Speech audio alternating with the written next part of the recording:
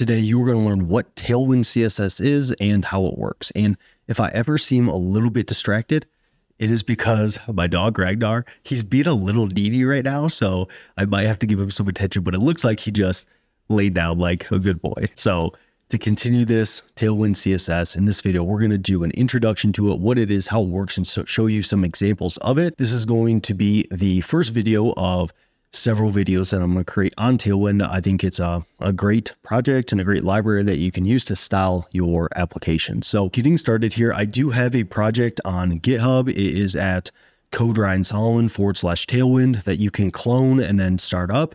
And that is going to start up this website right here that I've created using Next.js. And it already has Tailwind set up within it. And we're going to kind of use this as, you know, for me, for different notes that I want to make regarding Tailwind.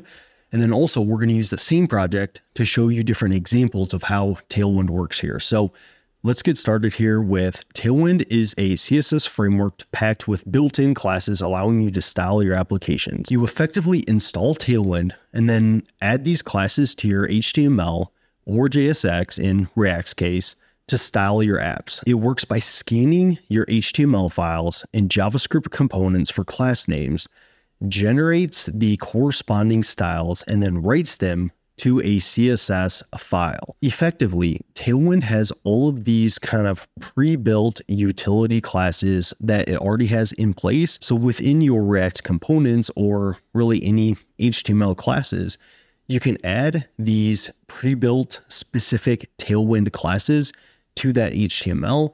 And then that is going to add different CSS to it. Like you might add flex as a class name, and that is going to make that element display flex. So rather than adding a class name and then needing to go create a CSS file and target that class name, use a selector to select that class name, and then you write the CSS for that. All you do is to your HTML, you write the Tailwind class name, and then Tailwind will automatically include that CSS or that class name that you wrote. And one benefit of this is this can make it easy to remain consistent when it comes to your styling. You don't need to worry so much about having several developers working in several different style sheets using different classes for everything, which is a headache and a half if you've ever been in that position. And Tailwind also removes any unused CSS automatically. This results in good performance with most Tailwind applications shipping less than 10 kilobits of CSS code. Additionally, you don't need to mess around with media queries. You can effectively add mobile styles right into your markup. Different element states can also be done quite easily. So within Tailwind, it automatically re removes any CSS that you don't use, which makes it, you know, more performant and I've worked in professional applications to where there's most definitely unused CSS being shipped to the browser, which anytime you can ship less code to the browser, it's probably a good thing for the performance of your application. And then also Tailwind classes support responsive design. So you don't need to go and use media queries when using Tailwind. You can add that responsive design within your class names, within your HTML, just how you do everything else in Tailwind. And then Tailwind also uses the latest features and promises to stay up to date with modern CSS. So with that kind of overview there, it might not be totally clear how Tailwind is actually working here. So let me actually go to my project here. And I have this header component within Next.js. This isn't necessarily specific to Next.js. This will look very similar if you're using Tailwind in any other project. But here within Next.js, so it uses React. So the only kind of React or Next.js specific thing here is that in React, this is actually JSX. It's not HTML, so it needs to use class name instead of just class. But in other HTML markup, this would just be class and it would work very similarly here. So within this header component, I have written out these different classes for this unordered list. But what I'm going to do here is I'm going to actually remove all of this here and we're going to just style this ourselves. So let me go back.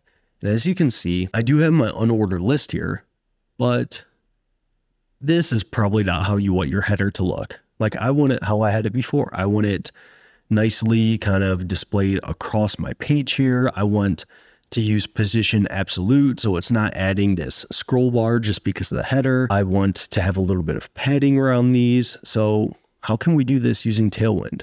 Well, what we can do like I showed you, is we can use Tailwind classes. And if you want to see all the different Tailwind classes, you can see that at Tailwind docs. So it's going to be tailwindcss.com forward slash docs.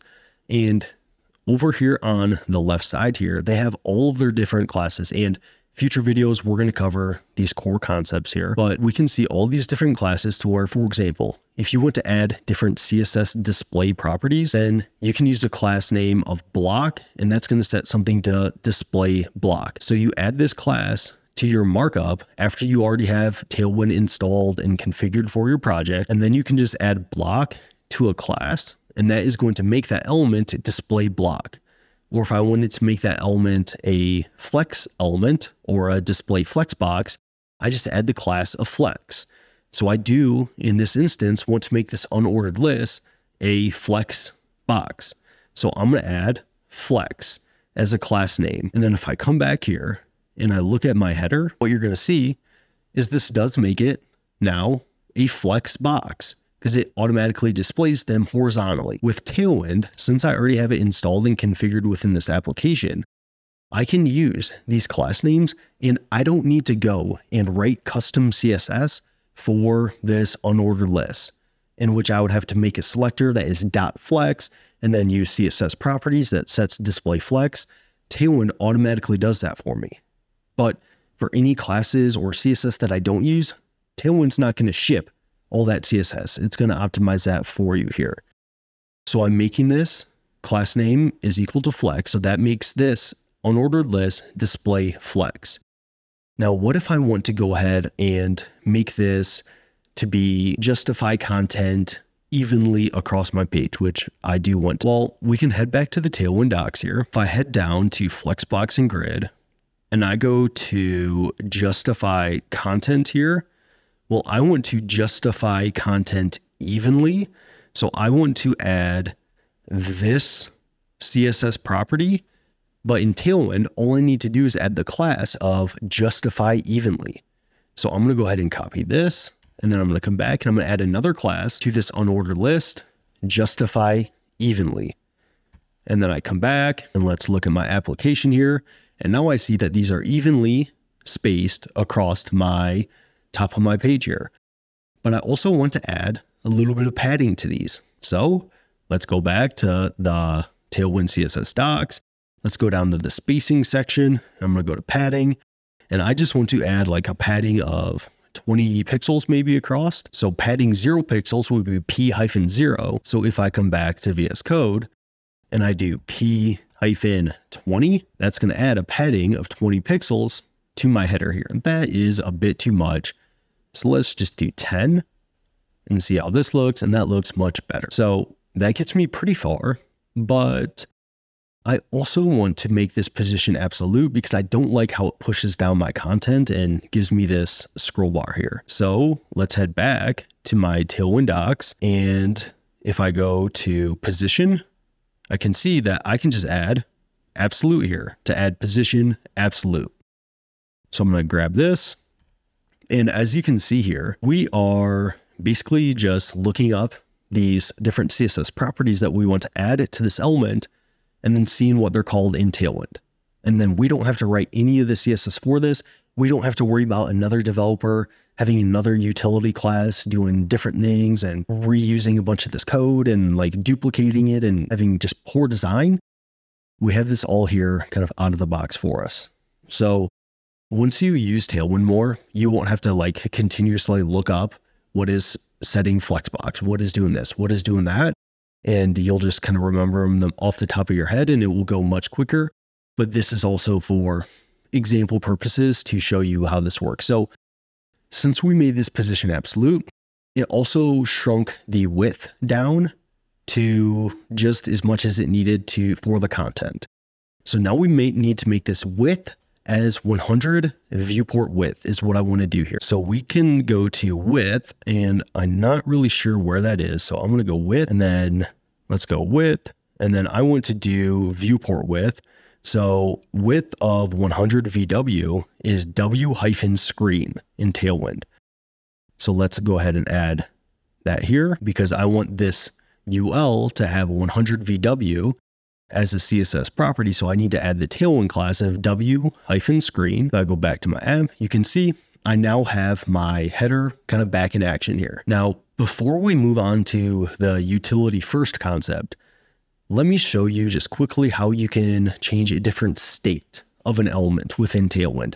So the state of hover, for example, and this could also be like if you mouse over or if you click on something or if an element is active, you can do all this within Tailwind as well. So when I hover over my list items, what I want to do is maybe change the the background text a little bit to I don't know. It'll it'll be a surprise. So the way that we can do this is if I come to hover and then I click on handling hover, you can see that all I need to do is add hover colon, and then I can add what I want to use as my different style. So here, when you hover on this button in this example, it is setting the background to a different color. I think this is like some sky blue color, but I want to set the color. I don't want to set the background. So let me see to set color, text color, text hyphen black, text hyphen white, text hyphen slate, and that is going to be a different color. But let's do something maybe like a blue color is what I would kind of like to do. Let's do teal here. So to set it as this teal color here, I can set it to text hyphen teal hyphen 500. So I'm going to grab this and now when I hover over my list item, I want to make it that teal color. So for this LI here, I'm going to do class name. And if this wasn't in React or Next.js, you just add class, but I'm going to do hover colon and then text teal hyphen 500. So then if I come back to my application and I hover over my different elements, you see it gives them this teal color. So Tailwind CSS it is a CSS framework that has a bunch of these different utility classes that you can use out of the box. And then within your markup, your HTML, you can just add these different classes and you will automatically be applying these pre-built Tailwind CSS properties to those different elements. So hopefully this gives you a good idea of the benefits of Tailwind, how it works, and how it can be so powerful. We definitely have more things to understand about Tailwind. So in our next video, we're going to cover the concept of Tailwind being utility first, and then we will get to handling states in a little bit more depth, responsive design, customization, and some different concepts that you should know. So thanks for tuning into this, and I will see you in that next one.